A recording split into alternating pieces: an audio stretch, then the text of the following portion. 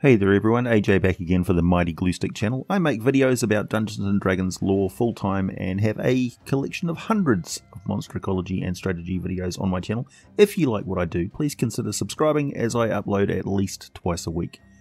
Last week was full of watery creatures. Today, continuing our complete exploration of the monster manual, we go the total opposite and visit the realms of fire. So, what sort of creatures live on the elemental plane of fire? How do they do that?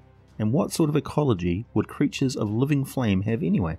Grab yourself a hot snack, settle back as we are about to get deeply nerdy as we talk about salamanders as well as other races of flame just in passing.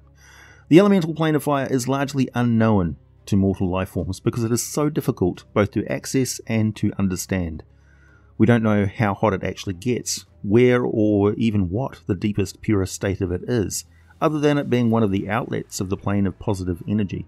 What we can say is that past the point where the average low temperature is over 4000 degrees centigrade or 7232 degrees Fahrenheit, any material will be well beyond its melting point, and for instance, a human body exposed to temperatures in the heart of the plane of fire for more than seconds will be vaporized, as in nothing left as temperatures over 10,000 degrees centigrade cause the matter to just sublimate, turn directly from solid to vapor, and disperse like a cloud.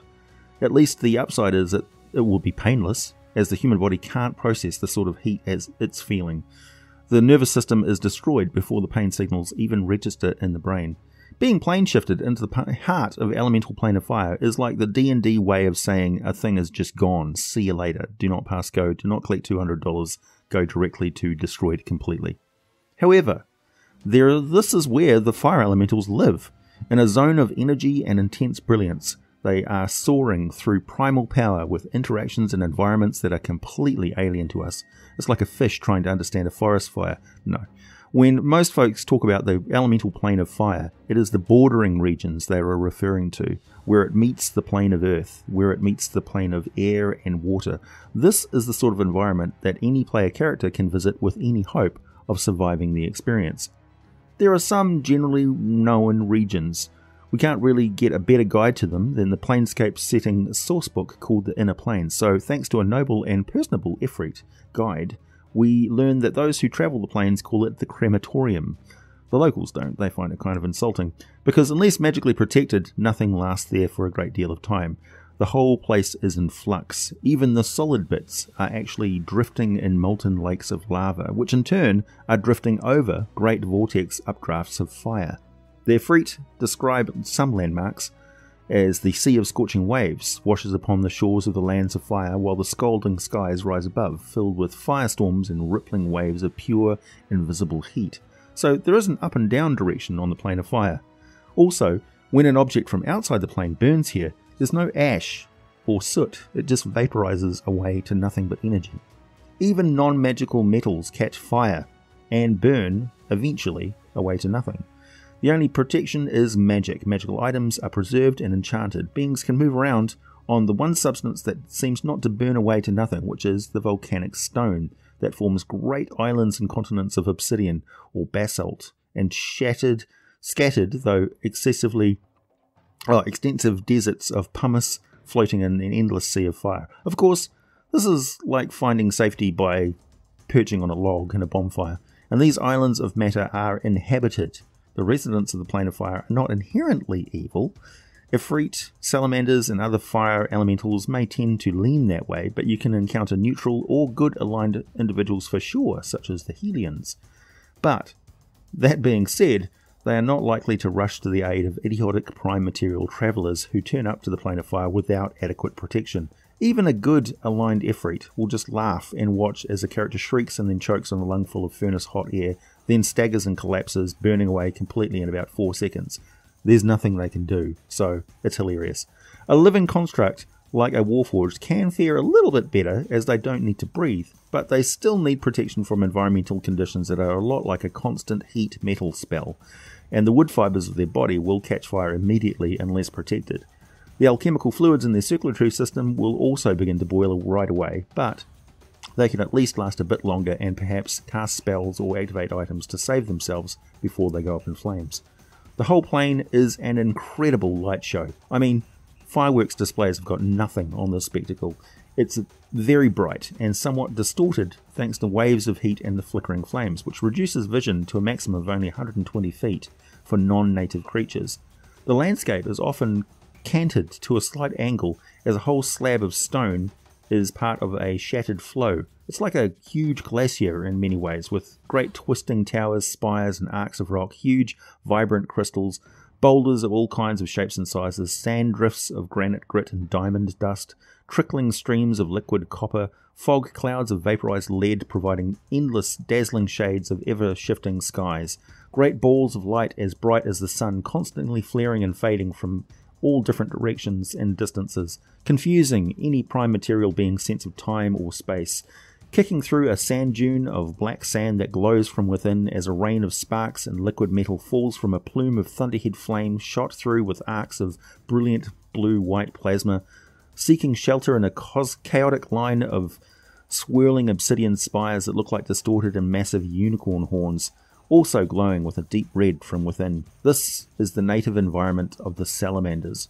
But there are other native creatures here which one rarely hears about, so let me share that info with you. First, in any examination of the ecologies of the plane of fire, one quirk becomes quite obvious. They all follow strict hierarchies. There are quite a few varieties of black mineral flies which operate like a wasp or a beehive. All the insects seem to have castes and pecking orders. The glowing, the glowing hornets are very nasty, and beetles move about like herds, divided up into specialist type, and always a ruling elite that boss around the others. The natural native creatures don't seem to eat, rather, they just inhale certain gases and flames, gathering certain minerals and prey upon each other. The biology makes little sense to a prime material plane person, though they will recognize the dangers of the large fire beetles that do not like being disturbed. There are little creatures called uh, wyveras they are black lizards with eight legs that feed on fire snake eggs and many of the tiny rock insects. The natives can make a stew out of the wyveras, plus they can make many fine dishes out of the meat and organs of the carrion-eating, teleporting rodents called scapes.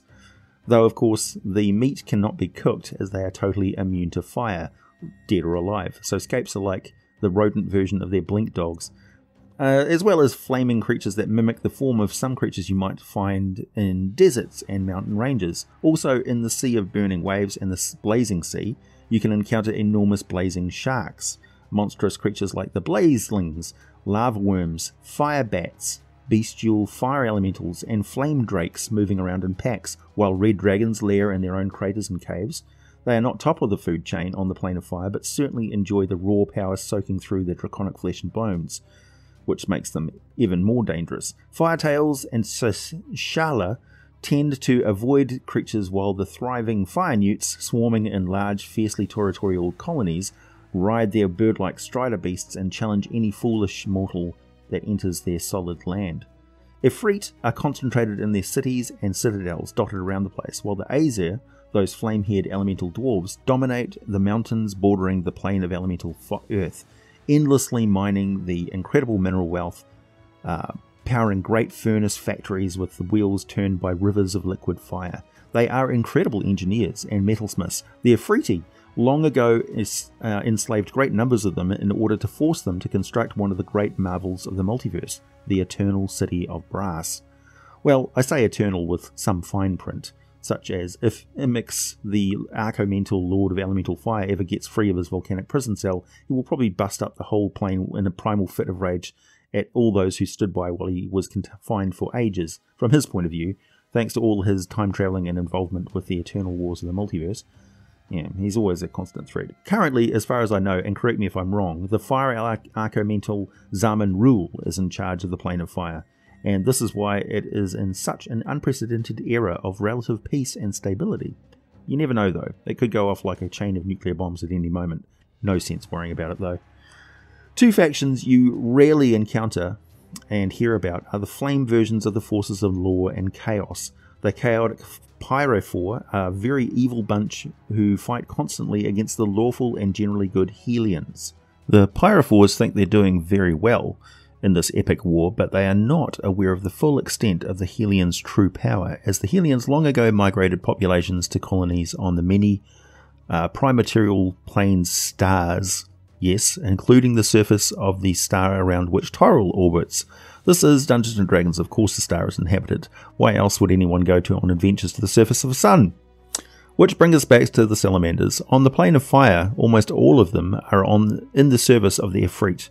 When the Azers threw off the shackles of slavery and managed to defend themselves from the fury of the Efreeti, the fire genies instead turned their attention to the immediate problem of the slave labour shortage and instead enslaved all of the salamanders, who are also amazing metalworkers since they are hot enough to melt literally melt steel, sculpt and work with it with their bare hands. The salamanders also fled to the surface of many stars, including the star inside Realmspace. So they're up there on the surface of the star above Toril. And there are also a couple of populations on the world of Toril. One in the flame peaks of Chult, uh, right near the incredibly ancient and powerful living prison of Dendar the Night Serpent, and deep below in the Underdark region known as the Firelands. But let's take a closer look at the salamander and their life cycle. The information provided in the Monster Manual for 5th edition is quite different in the specifics of their ecology, which, granted, makes for a slightly wider range of possibilities in 5th edition. For instance, finding or acquiring salamander eggs, much more interesting plot wise. But that is not what the much more detailed ecology of the salamander in Dragon Magazine describes. You can include both sets of lore because there is more than one species of salamander. They actually share this sort of trait with goblinoids. There are the much smaller and more primitive, though no less intelligent, flame brothers, which are around four feet long. Most people think they are juvenile versions of the noble salamanders. They aren't, but it might be they who lay the, the uh, and hatch from eggs. The true salamanders don't. They are asexual and reproduce by budding. They grow a lump that splits off as a fire snake, which look identical to the fire snakes hatched from the flame brother eggs, so it's naturally confusing which one is which, and it's understandable that people studying the ecologies of these creatures wouldn't understand what they're seeing, when all of the fire snakes look pretty much the same. Salamanders have a muscular, humanoid, and masculine looking upper torso. Their lower body is like that of a large and powerful constrictor snake. This body form really makes sense when you see how fast they can move, move across the varied terrain of rock and viscous ma- uh, magma. The intense heat that radiates from their body is fueled by this black tar like substance that oozes out from between the scales that cover their body. This also provides a cushion of flame that prevents liquid rock from sticking to them while the large segmented plates on their belly provide the friction they need to move around at around 30 feet per round. The true salamanders reproduce once every 10 years automatically. They have no control over it, and it takes about a week, starting with a swelling at the tip of the tail that grows up the length of the body. This continues until the last day when they are basically immobilized. Then their skin splits open, and then adult emerges with a new skin, and there is also a fire snake juvenile.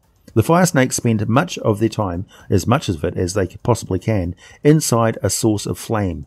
An easy task on the elemental plane of fire, where they cluster uh, together in swarms, soaking up energy, in about a year, under ideal nourishment conditions, they reach adult size. These nurseries are uh, the fires which they swarm in are called blazes, and the fire snakes actually die if taken away from a source of heat for an extended period of time. Their corpse looks a bit like charred wood. For this reason, the salamanders heavily protect their blazes and protect them at all times. They are a very martial culture, in large part because they have enslaved the uh, been enslaved by the more powerful Efreeti for so long, it's all they know. They are a naturally aggressive and energetic species anyway, so they take their frustrations out on weaker species, particularly any of them that are flammable. Fire snakes reach the end of their juvenile stage and swell up over the course of a week at the end of that year, at the end of which they split open and either a flame brother or a true salamander emerges with a fresh skin. The Flame Brothers never grow a lot larger. The true salamanders do, though.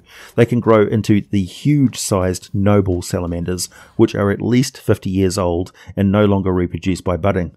The transformation into a noble salamander also involves the swelling and splitting transformation. They are not only huge, but they also sport a pair of antlers that grow from their forehead. These somehow focus intense arcane power and are integral to their ability to cast spells, which is very much like the character Hellboy. If you manage to sever the horns, the noble salamander loses its spell like casting powers. The, uh, also, the horns can be used to craft magical wands, which can handle spells found on the sorcery spell list, up to 4th level spells, as the nobles cast spells as though they are 8th level sorcerers. Mage armor, magic missile, and banishment are pretty typical spells in their arsenal. There are slight, they're slightly tougher than the true salamanders, about add 20 hit points, bump the challenge rating up to 6, and add another plus 1 to the combat dice rolls. True salamanders have an armor class of 15. They can wear breastplates or chain shirts in theory, but they are unlikely to do so unless ordered to, and those items will be heavily enchanted uniforms provided by their Efreet masters. They have 12 d10 plus 24, or between 36 and 144, with an average of 90 hit points certainly give them the equivalent of military ranks and a range of hit point totals to reflect the larger size and toughness of these various ranks. They are highly effective melee fighters. When operating in groups, they are lethal, and here's why. First, the terrain they operate in typically provides a lot of obscurement and cover. They will pelt the area with grenades that release fire and smoke to cover their approach. Then dash into melee range with a powerful spear attack. This is plus 7 to hit and does 2d8 plus 4 damage. They almost always use both hands when striking with a spear in order to inflict maximum damage. They might throw the spear as they race into melee range if the target is prov- proving difficult to engage in melee. They will always attempt to strike with the tail and constrict their opponent. The tail attack is has a superior reach of 10 feet. It's not only um, it not only hits at plus 7 for 2d6 plus 4 bludgeoning damage, it also inflicts 2d6 fire damage.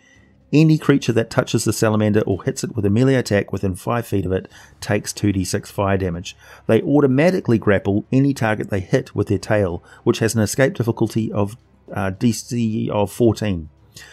Until this grapple ends, the target is restrained. That means the salamander can automatically hit the target with its tail, and it might not be obvious, but they can also continue to make spear attacks against the restrained target or adjacent targets.